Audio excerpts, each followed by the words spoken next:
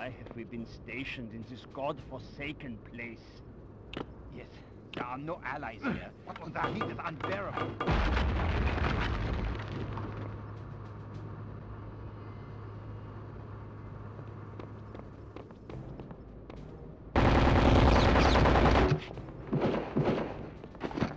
What's up everybody, it's DJ Sketch back again with another video. Hope you guys are doing good on this Sunday evening.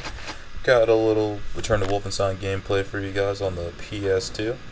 And this game is pretty badass. I haven't played this since, since it came out back in the early 2000s. I think I rented this from a Hollywood video once.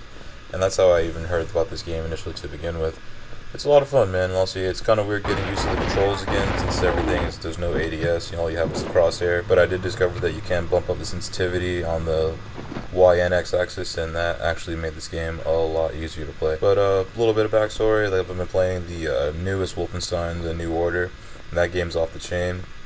If you haven't fucked with that yet, you definitely need to, as I know it's in the bargain bin at most GameStops and anywhere else you can find video games as these days. So do yourself a favor and pick that up. If you're lucky, there'll be a Doom beta code that hasn't been used yet. I would suggest you check that out. But also, just wanted to make a quick video and actually just see how this looks on on video with the uh, PS2 graphics. Because I know that this is actually, surprisingly, I thought this was running at 60 frames, but it's actually running at 30 which is not not too bad. I mean, Battlefield for the longest time ran at 30 frames too, and that game's pretty straight, so there's no reason to complain there. Now is it? But uh, with this, like honestly, this this Wolfenstein is one of the few that I haven't really played as much because uh, it's like uh, probably the fourth or fifth mission in the game, the Ancient Ruins, and uh, this one it's not quite as crazy as the newest Wolfenstein, well, obviously, but I know there was this one and there was another Wolfenstein that was on 360 that, like, I tried playing it a few times. I remember I had, like, so many rage fits on that game. It was ridiculous. That was the first controller I ever broke for 360. But this one, not so much. This one's a little more casual.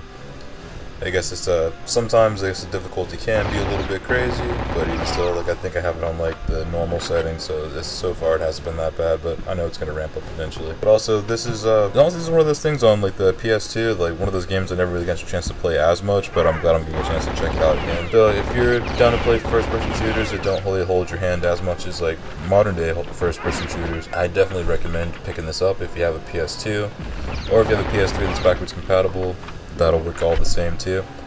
So if you get a chance, check out Return to Castle Wolfenstein. I'm really not going to go into the whole backstory because if you want to learn all that, there's plenty of other videos on YouTube about it. But I highly, highly, highly recommend checking out this this installment of Wolfenstein.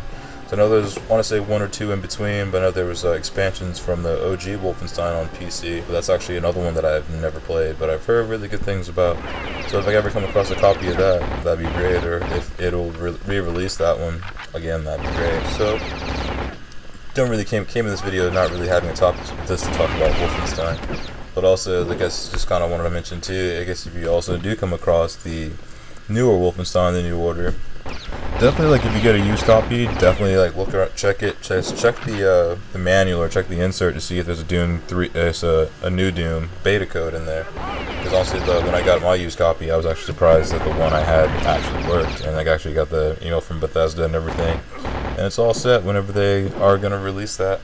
I'll actually be able to play it which is to be rad and I'll definitely keep you guys posted whenever that comes about. Because also this is sick in this gameplay too is getting so many like two and three pieces. Oh man this game's actually like once you like actually get the controls to where you can actually kind of function with it you honestly can just come through and start smashing shit in this game it's actually I was actually I was very very surprised to like once I like, kind of tweaked the settings like from the the, the defaults and actually kind of came in, was actually able to put in some work. Can't get any grenade kills, but I was getting a bunch of like stealths and like numerous headshots on this map. But yeah, this is about to wrap it up here. Just want to thank you guys again for checking out the video. Come back and see us sometime. If you like what you're seeing, hit the subscribe button, hit the like button, all that good stuff. It's DJ Sketch, over and out.